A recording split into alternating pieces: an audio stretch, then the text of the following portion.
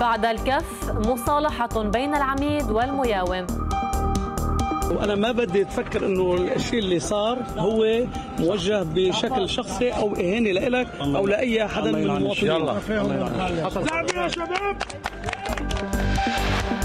الجميل عن البواخر. نحن رايحين اليوم نجيب باخرتين زيادة تيصير عنا أربع بواخر ونزيد الكلفة ونزيد الدين العام ونزيد العجز بموضوع كهرباء لبنان. مجلس الوزراء بدأ مناقشة موازنة العام 2018 لم يعد هناك إمكانية لتجاوز إقرار الموازنة وبسرعة. بري يعلن أسماء مرشحي أمل. إننا سنخصص جهدا كبيرا من مهماتنا البرلمانية من أجل متابعة موضوع استخراج موارد لبنان. من نفط.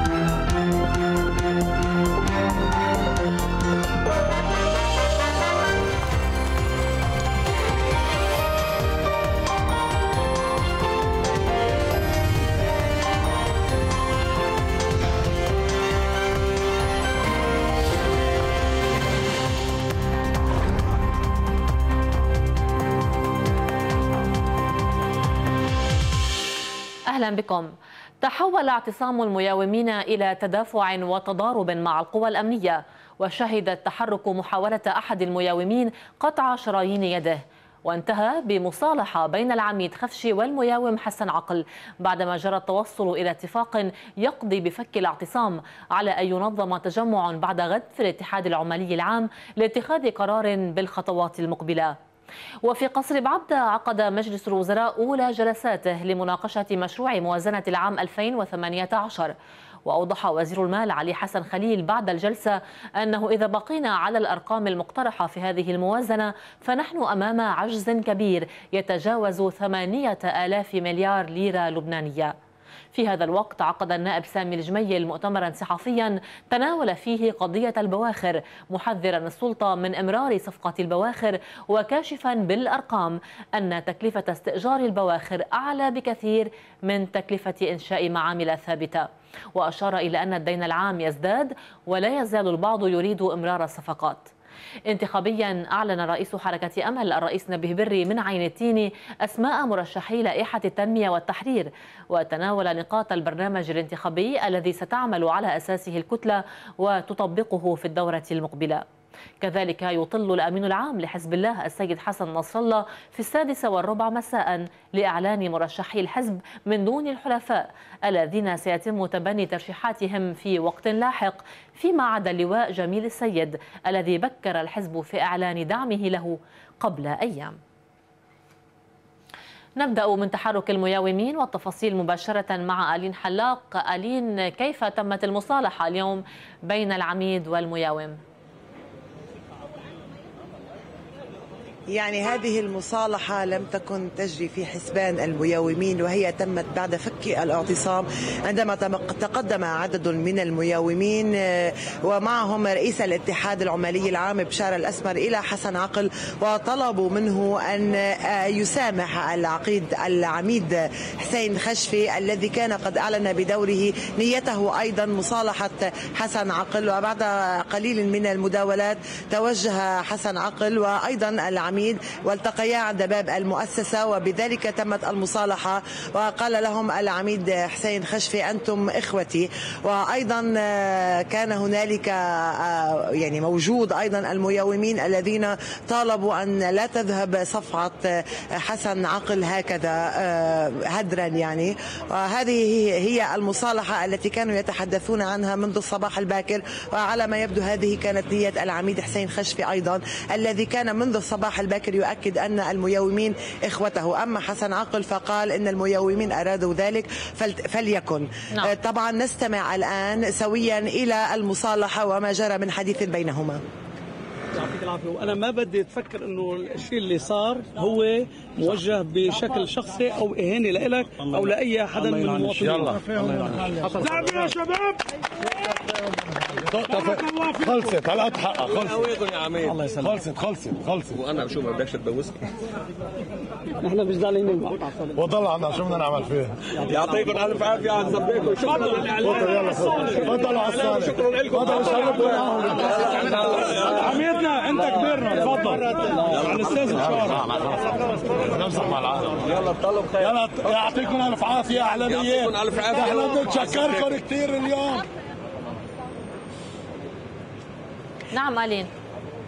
آه، نعم كاترين كما شاهدنا كما شاهدنا تمت هذه المصالحة والتي كانت أتت بعد يوم طويل من الاعتصام الذي شهد التدافع بين القوى الأمنية والميومون الذين أرادوا الدخول إلى مؤسسة كهرباء لبنان من أجل عقد مؤتمرهم الصحفي هذا المؤتمر الصحفي كان مخصص من أجل الحديث ومن أجل الاعتراض والاستنكار لما تعرض له حسن عقل والصفعة التي نعم. آه، التي كانت آه، يعني آه، كما يقال هي التي أدت إلى هذا الاعتصام آه، طبعا كما قلنا حصل هنالك تدافع حصل هنالك آه، تلاسن وأيضا أقدم أحد الميومين على قطع شرايينه وسرعان ما آه، أنقذوه إذا صح التعبير زملائه ومنعوه من الإقدام على ما على ما كان يمكن أن يكون أكثر من ذلك. طبعا وصلنا إلى حيث كان يجب أن يكون هنالك دخول إلى المؤسسة ولما لم يحصل هذا ال- ال- الدخول إلى هذه المؤسسة ولم يتم ما أرادوا آه، اعتصموا وأيضا نصبوا الخيام على أساس أنهم سيبقون هنا إلى نعم. أن تحل قضيتهم ولكن بعد الحديث مع العميد حسين خشفي وبعد عدد من الاتصالات آه، تقرر كما قلنا أن يكون هنالك اجتماع الأربعاء وتقول المصادر أن الميومون سيضغطون في هذا الاجتماع من أجل وضع قضيتهم على جدول نعم. أعمال مجلس الوزراء في ال- في اجتماعه في جلسته المقبلة طبعا نستمع الآن كاترين لحديث مع العميد حسين خشفي وأيضا مع رئيس الاتحاد العمالي العام بشارة الأسمر حضرة العميد الميومين عم بي- عم بيعترضوا على مجيئك. شو بتقول لهم؟ كل واحد بده ياكل حقه ايامنا ما عندك كلمة تقول لهم إياها؟ ما حدا بيعترض على مجيء أنا عم نفذ مهمة هون وهذا شغلي. اعتبروها حركة استفزازية. حضرة العميد عم بيعتبروها حركة استفزازية هاي هول إخواتنا. شو بتجاوبهم؟ هول إخواتنا. ما في داعي بدك تشتي عم بسألوا عميد ماذا تقول بعد ما به حركة استفزازية أنا ما عندي تصريحات ما في حركة استفزازيه وين في حركة استفزازيه نحن عم نقوم بمهمة وهول واجباتنا وهول إخواتنا. يعني رجع مشى الحال وكله هلا. ما في شيء هينا ما في شيء. شو الوضع؟ ممتاز. الميومين حق أقول اللي بدهم اياه من هالنهار من هالاعتصام الكبير. وأهم شيء اختلاطهم باخوانهم بقوى الأمن. رجعوا شخص واحد مثل ما لازم يكونوا. السكنة العسكرية ونحن شخص واحد. بدنا نقول شغلة؟ لازم يكون في حل لقضية الميومين. عيب نبقى هيك. لازم يكون في حل. الحل بيقوم يا إخوان على الأخذ بالفائض. الحل بيقوم على استمرار المباريات. الحل بيقول إنه يقبضوا. تع- تعويضات الشهرية تبعهم. استحقاق شهري يكون دائم ومستمر. وفورا هلأ صار لهم شهرين بلا معاشات. ما راح طول عليكم. بدي أقول إنه تحرك مش توقف هون. اليوم التحرك حقق غاياته بعد بكرة بعد بكرة في اجتماع ومؤتمر صحفي بالاتحاد العمالي العام لمكاب. تجمع كبير. هذا تجمع كبير بعد بكرة للميومين بالاتحاد العمالي العام لمتابعة التطورات واتخاذ الخطوات اللازمة بهالإطار. وبناء عليه مفترض إنه يكون في شركة تشغيل تتولى دفع معاشاتكم هذا الشهر. قريبا جدا وهذا أول مطلب لنا يعطيكم بدي. أقول شغلة بعد. الاجتماع الأساسي نهار الاربعاء بالاتحاد العمالي العام ومؤتمر صحفي لنقرر التطورات ويعطيكم العافية حقه لحسن عقل مين بيرده؟ نحن بنرفع الاعتصام هلأ وخلصنا اليوم أستاذ بشارة وحقه لحسن عقل مين بيرده؟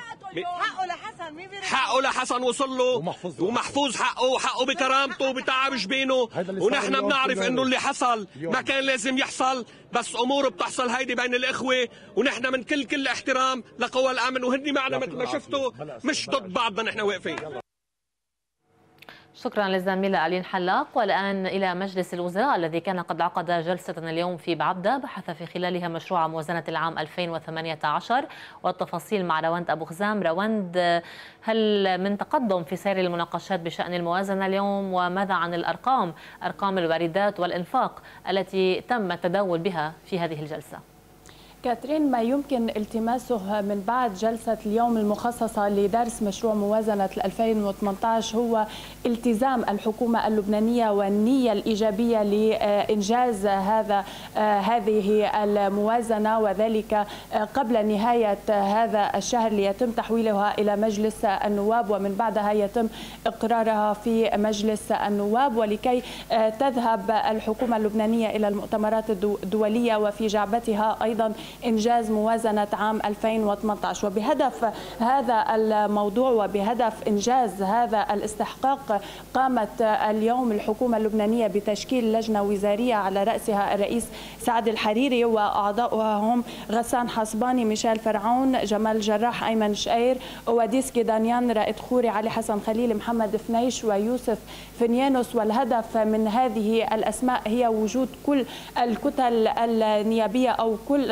ممثلي الكتل النيابية في هذه اللجنة الوزارية لكي يتم التطرق إلى كل الملاحظات ووضع كل الملاحظات على مشروع موازنة عام 2018 لتخلص إلى مشروع نهائي أو ملاحظات نهائية تطرح على جلسة مجلس الوزراء. إذا إذا كاترين المطلوب والإصرار هو في موضوع تخفيف الإنفاق وزيادة الإيرادات والدفع باتجاه تخفيف الدين العام وكما قال وزير المال علي حسن خليل بأنه ليس هناك من أي إجراءات ضريبية جديدة وليس هناك أي مشاريع قوانين برامج جديدة عذرا.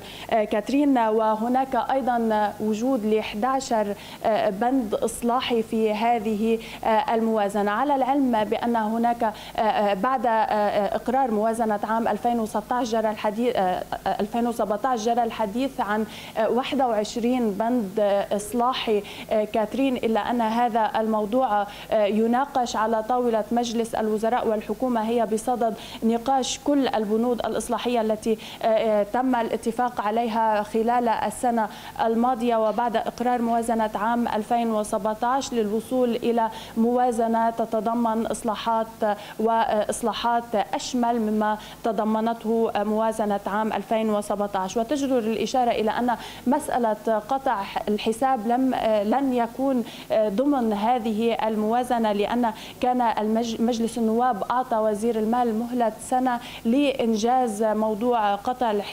وكما قال وزير المال علي حسن خليل بأنه في المراحل الأخيرة لإنجاز هذا الموضوع. وأيضا كاترين تجدر الإشارة إلى أن الوزير علي حسن خليل قال بأنه كان قد قدم مشروع موازنة 2018 خلال المهلة الدستورية ولكن التجاذبات السياسية والسجالات التي حصلت في الفترة الماضية دفعت بتأخير عرض هذا الموضوع على طاولة مجلس الوزراء. وتحديدا أيضا موضوع طلب رئيس الحكومة من الوزراء تخفيض موازنات وزاراتهم 20% وذلك بناء على مطلب نعم. المجتمع الدولي بتخفيف تخفيف موازنات كل وزارة 20% وذلك لتقليص موضوع العجز في المالية العامة هذا في الأجواء الجلسة الأولى لدراسة مشروع الموازنة وتجدر الإشارة إلى أنه سيكون هناك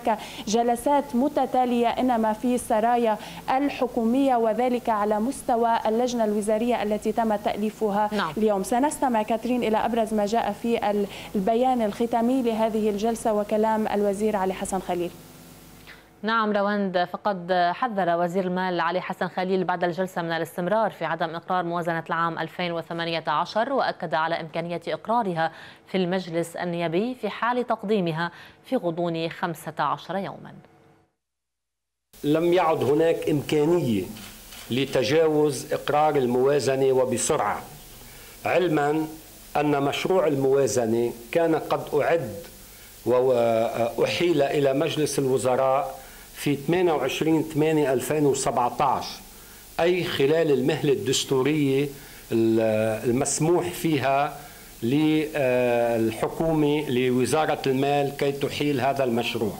للأسف كان هناك نقاش حول موازنة 2017 المتأخرة. المشاكل السياسية اللي مرق فيها البلد آه، خلينا نوصل آه، لهذا الوقت المتأخر. آه، بإقرار الموازنة اللي كان لازم يتم قبل نهاية كانون الثاني 2018 اليوم كان واضح إصرار من فخامة الرئيس ودولة الرئيس ومن كل الوزراء على الإسراع بإنجاز هذه الموازنة بأسرع وقت ممكن. ما أود قوله أنه هناك التزام بإقرار سريع ربما يكون مع نهاية هذا الشهر للموازنة وإحالتها إلى المجلس النيابي. وكما عبر آه، دولة رئيس مجلس النواب إنه إذا إذا أحيلت خلال هال 15 يوم في إمكانية بمجلس النواب إنه تقر قبل آه، الانتخابات آه، النيابية وهذا الأمر برأيي ليس ترفا بل هو واجب إذا كنا جديين في التحضير والاستعداد للمؤتمرات الدولية المقررة لدعم لبنان إن كان في روما أو في باريس. لا يمكن بأي شكل أن نذهب إلى مثل هذه المؤتمرات. طالبين الدعم والمساعدة والموازنة لم تقر. اليوم آه، آه، بصراحة بدي أقول أنه إذا بقينا على الأرقام المقترحة في هذه الموازنة نحن أمام عجز آه، كبير يتجاوز 8000 مليار 8000 مليار ليرة لبناني. آه، اليوم آه، الموازنة بهمني أكد أيضا إنه ما فيها أي إجراءات ضريبية جديدة ما في أي زيادة أو إقرار لضرائب جديدة. رئيس حزب الكتائب أن أبسام الجميل يرفع صوت فيما خص ملف الكهرباء بعد الحديث عن تلزيم بالتراضي في مجلس الوزراء. ويؤكد أن تلزيم البواخر صفقة مشتبه فيها داعيا إلى إنشاء معامل ثابتة لأن كلفتها أرخص بكثير. كنا عم نسمع كل الوقت أنه هلأ ومستعجلين وبدنا البواخر وعلى السريع لأنه بدنا نضوي بالصيفية. وصلنا على أكتوبر وقتها وقت دايرة المناقصات ردت هال آه، ردت هال المناقصة هيدي ثلاث مرات ما عادوا عندهم أولوية الكهرباء بلبنان. صرنا خمسة أشهر ما حدا اقترح بديل ما حدا عمل آه، أي خطة بديلة ما حدا أخذ أي تدبير بديل ناموا عليها. كأنه كانت الأولوية مش تجي الكهرباء بالصيف كانت الأولوية يجوا البواخر. بالتالي حابب أكد أن موضوع البواخر هو حل مؤقت بيكون واحد مشى آه، آه، عم بيصنع أو عم بيعمر معمل بهالوقت هيدا بيستأجر على فترة قصيرة. نحن مش بس صرنا سبع سنين عم ندفع أجار بواخر موجودة اليوم على الشط تبعنا بكلفة كتير عالية وما بشرنا ببناء آه، معمل جديد. مش بس هيك نحن رايحين اليوم نجيب باخرتين زيادة تيصير عندنا أربع بواخر ونزيد الكلفة ونزيد الدين العام ونزيد العجز بموضوع كهرباء لبنان. نحكي كلفة على خمس سنين أجار الباخرتين يلي كانوا معروضين كانت كلفه تبعها مليار و800 مليون دولار. أنا عم بسأل سؤال إذا كلفة الميجاوات هو مليون دولار إذا بدنا نعمر معمل 800 ميجا وات لازم يكلفنا 800 مليون دولار. إذا بدنا نشتريه نعمره. كيف نحن اليوم عم نستأجر هال 800 ميجا وات بمليار و800 مليون دولار أجار على خمس سنين؟ في حدا يجاوبنا على هذا السؤال؟ إذا أصروا الشباب يجيبون على البواخر هات لنشتري بواخر. باخرتين كل باخرة 150 مليون دولار. ضرب 2 300 مليون دولار. حطينا عليهم معمل 800 ميجا وات صرنا عم نحكي بمليار مليار و100 آه، مليون دولار. بعدنا نحن تقريبا 700 مليون دولار أرخص من كلفة الأجار يلي معروضة علينا. رايحين أنتم بعدهم بعدوا بالكم بالصفقات؟ بعدوا بالكم كيف بدكم تعملوا تركيبات مثل هاي بالوقت اللي البلد عم بينهار اقتصاديا والجماعه عم بيدقوا ناقوس الخطر وعم بيقولوا لكم البلد رح ينهار ما فيكم تكملوا هيك. في قانون طلع اسمه قانون الشراكة بين القطاع العام والقطاع الخاص طلع هيدي السنة. بيعطي الحق للدولة أنه تسمح للقطاع الخاص هو يعمر معامل من دون ما الدولة اللبنانية تتكلف ليرة. نحن ما فينا اليوم بهذا الجو اللي عم نسمعه ما نحذر. وهذا الموضوع ما رح يقطع مرور الكرام. أعلن رئيس مجلس النواب نبيه بري في مؤتمر صحفي عقده في عين التين أسماء مرشحي حركة أمل للانتخابات النيابية متناولا برنامج كتلته الانتخابي. وقال إن التزام الدستور ووثيقة الوفاق الوطني هو خيارنا الأول. تعزيز قوة ومنعة لبنان عبر زيادة عديد وعتاد الجيش وبده بالأسلحة الحديثة وبتحرير الأجزاء الغالية من أرضنا المحتلة في مزارع شبعة وتلال كفرشوبة والجزء اللبناني من قرية الغجر ورفض الانتهاكات الإسرائيلية لسيادتنا ورفض سياسات الجدار العقيمة وتمسكنا بالنفط البري بالنقط عفوا بالنقط البرية وبالنفط أيضا. بالنقط البرية الثلاث عشرة. إننا سنخصص جهدا كبيرا من مهماتنا البرلمانية من أجل متابعة موضوع استخراج موارد لبنان من نفط وغاز في البر والبحر وإنشاء الصندوق السيادي وشركة البترول الوطنية وقانون النفط البري. وتخصيص حصة للمرأة اللبنانية لتعزيز حضورها وتمثيلها النيابي إذ لا يعقل أن يكون نصف المجتمع أي مجتمع في الدنيا لا يعقل أن يكون نصف المجتمع نسائي والتمثيل شبه معدوم. في لبنان معدل النسوة 54% أكثر من النصف. العمل لإصدار عفو عام. لا يشمل عمليات الإرهاب والإرهابيين. على أن لا يشمل العفو العام الجرائم الموصوفة. إسرائيل أيها الأخوة العرب هي العدو. إسرائيل هي العدو وليست الجمهورية الإسلامية الإيرانية. بعد الإعلان موظفو المستشفيات أمام وزارة الصحة.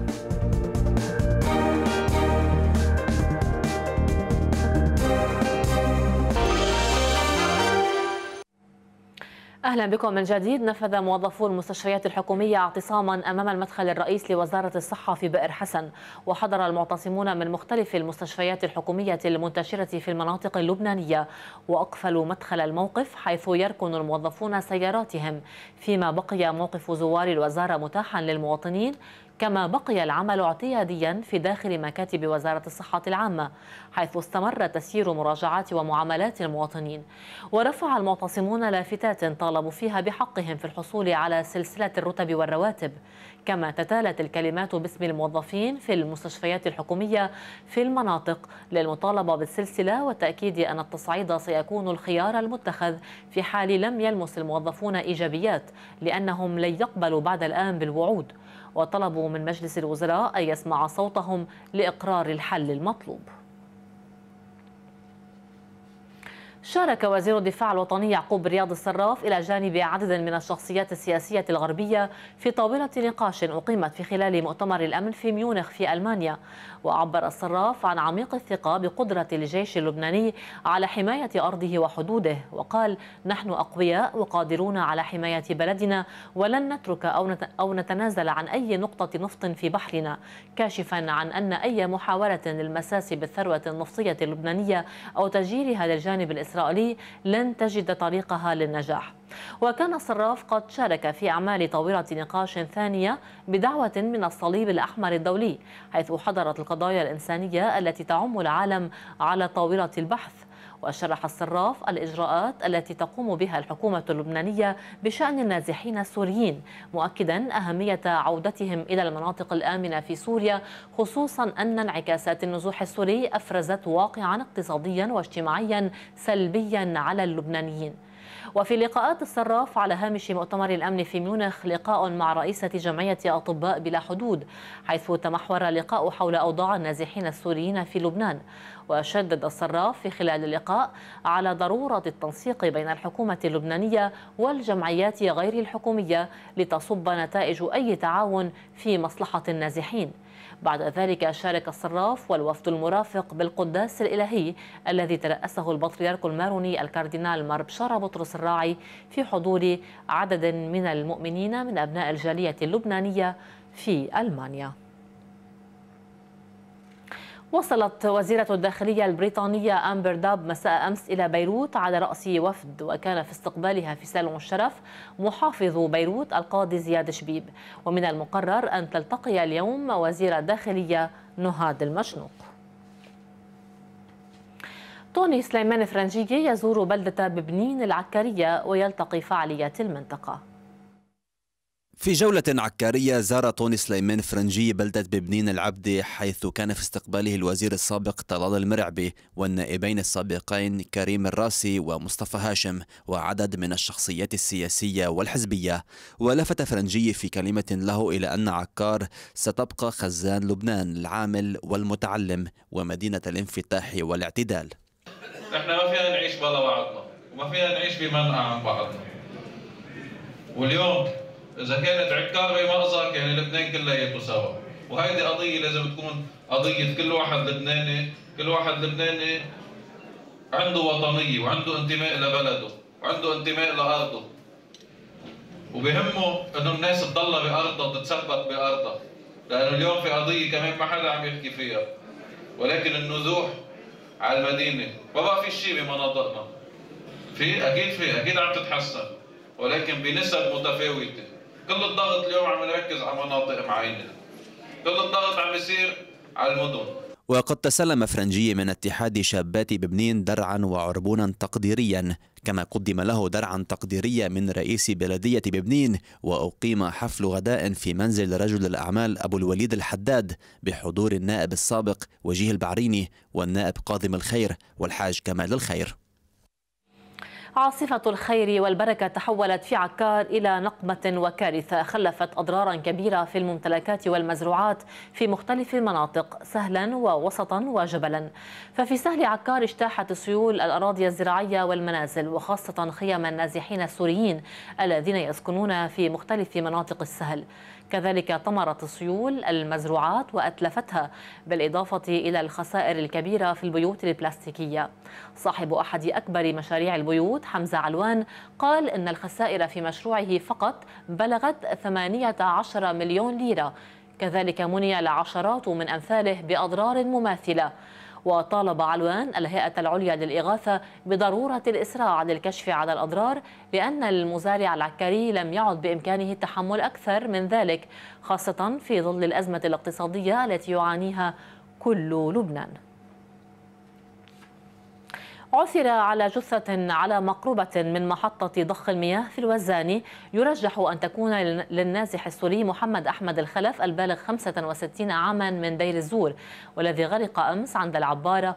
وتعمل فرق الدفاع المدني على انتشال الجثة للكشف عليها من قبل الأدلة الجنائية والطبيب الشرعي بعدما جرفته مياه النهر إلى جسر الغجر الوزاني حيث التقاء نهري الحاصباني والوزاني. بالضبط أنا ما أعرف الشيء بس لقونا الشباب وأعطوني اياه الشباب هناك بيعرفوا وين لقوه. عند المقر اليونفن هناك تحت بالوزاني. جاي تناوش الشجرة العود من العبارة. آه، تفت العبارة ونزل طمس. طمس بهالعبارة ومنها ما بين. قطس راح مفزع هالعالم وشايفوا واحد إنه طالع بعد العبارة ومو متأكد مزبوط. ها قال شفته طلع من النهر. أخذته المي شايلته. وجد دفاع المدني وجد المخابرات وجد الجيش اللبناني ولسه ما لقينا النتيجة.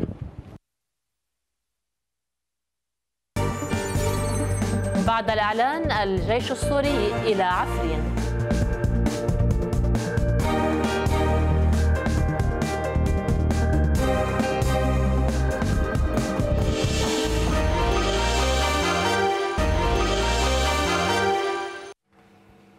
أهلا بكم من جديد. أعلن مسؤول كردي كبير أن القوات الكردية السورية والحكومة السورية توصلتا إلى اتفاق على دخول الجيش السوري منطقة عفرين للمساعدة في صد هجوم تركي. وقال بدران جيا كرد الذي يعمل مستشارا للإدارة التي يرأسها الأكراد بشمال سوريا لوكالة رويترز إن قوات الجيش السوري ستنتشر على طول بعض المواقع الحدودية وقد تدخل منطقة عفرين في اليومين المقبلين. ويؤكد الاتفاق بحسب رويترز الوضع الذي يزداد تعقيدا في شمال سوريا حيث تتشابك الجماعات الكردية والحكومة السورية وجماعات المعارضة السورية المسلحة وتركيا والولايات المتحدة وروسيا في شبكة معقدة من العداوات والتحالفات. وقال نوري محمود المتحدث باسم وحدات حماية الشعب الكردية إن الاتفاق الذي تم التوصل إليه مع دمشق اتفاق عسكري تماما ولم يتضمن ترتيبات سياسية أوسع. وأضاف فيما يتعلق بالقضايا السياسية والإدارية في المنطقة سيتم الاتفاق عليها مع دمشق في المراحل اللاحقة عبر مفاوضات وحوارات مباشرة. كون عفرين هي سوريا وحدودها حدود حدود سورية وقضية سيادية تخص جميع السوريين. أفادت مصادر سورية باستمرار المفاوضات بين الجيش السوري والفصائل المسلحة في غوطة دمشق الشرقية بوساطة روسية للمصالحة وذلك مع وصول حشود للجيش السوري إلى المنطقة. ونقلت صحيفة الوطن السورية عن مصادر مطلعة على ملف المصالحات المحلية أن هذه المفاوضات الماراثونية قد تكثفت في الفترة الأخيرة بطلب من الميليشيات المسلحة بعدما ضاق الأفق أمامها وتصاعد ضغط الجيش السوري السورية عليها. ومن اللافت أن الغوطة الشرقية شهدت السبت هدوءا عاما حيث لم تجري أي اشتباكات بين الجيش والمسلحين ولم يسجل لا تحليق طائرات في سماء المنطقة ولا استهداف أحياء العاصمة الآمنة بالقذائف من الغوطة. ويأتي ذلك وسط تقارير عن استخدام الجيش السوري مزيدا من التعزيزات إلى محيط الغوطة الشرقية تمهيدا لتنفيذ عملية عسكرية واسعة تهدف لاستعادة السيطرة على شرقي الغوطة في حال فشلت المفاوضات. وتناقلت مواقع التواصل الاجتماعي صورا وفيديوهات تظهر معدات عسكرية بينها راجمات صواريخ وآليات ومدرعات ثقيلة وسيارات مزودة بالرشاشات في طريقها إلى الغوطة الشرقية. من العاصمة الأردنية عمان أكد وزير الخارجية التركية مولود جويش أوغلو التفاهم الكامل مع الأردن حول عملية غصن الزيتون التركية في سوريا لافتا إلى أن رئيس هيئة الأركان التركية سيزور الأردن لبحث سبل التعاون المشترك بين البلدين. جاء ذلك في مؤتمر صحفي مشترك للوزير التركي ونظيره الأردني أيمن الصفدي الذي أعلن اتفاق البلدين على الحل السياسي بشأن الصراع السوري. موقفنا واضح منذ البداية. الهدف من عملية غصن الزيتون هو إنهاء الإرهابيين من داعش والأكراد. ليس لدينا أجندة خفية بخصوص هذا البلد ونحن نرحب بالقوات السورية إذا كان عرضها تطهير عفرين من الإرهاب. أما إذا دخلت لحماية المقاتلين الأكراد فلا يمكن لأحد إيقاف القوات التركية. نحن ندعم وحدة أراضي سوريا وهناك تفاهم تام مع الأردن بهذا الخصوص. عملية نأمل أن تنتهي بشكل سريع بما يضمن حق تركيا في حماية أمنها ومصالحها ويوفر للأكراد أيضا حقوقهم كاملة مواطنين داخل الدولة السورية. بالنهاية نحن نريد حلا سياسيا لسوريا. هذا الحل يجب أن يضمن وحدة سوريا وتماسكها ويجب أن يقبل به الشعب السوري ويجب أن يؤدي إلى سوريا تعيش بأمن وسلام مع واستقرار مع كل جيرانها بحيث تكون سوريا آمنة مستقرة وأيضا كل الدول على جوارها آمنة ومستقرة أيضا. كان في هذه النشرة بعد الكف مصالحة بين العميد والمياوم وأنا ما بدي أتفكر أنه الشيء اللي صار هو موجه بشكل شخصي أو إهانة لإلك أو لأي حدا من المواطنين. يلا. يا شباب. الجميل عن البواخر. نحن رايحين اليوم نجيب باخرتين زيادة تيصير عنا أربع بواخر ونزيد الكلفة ونزيد الدين العام ونزيد العجز بموضوع كهرباء لبنان. مجلس الوزراء بدأ مناقشة موازنة العام 2018 لم يعد هناك إمكانية لتجاوز إقرار الموازنة وبسرعة. بري يعلن أسماء مرشحي أمل إننا سنخصص جهدا كبيرا من مهماتنا البرلمانية من أجل متابعة موضوع استخراج موارد لبنان. من نفط.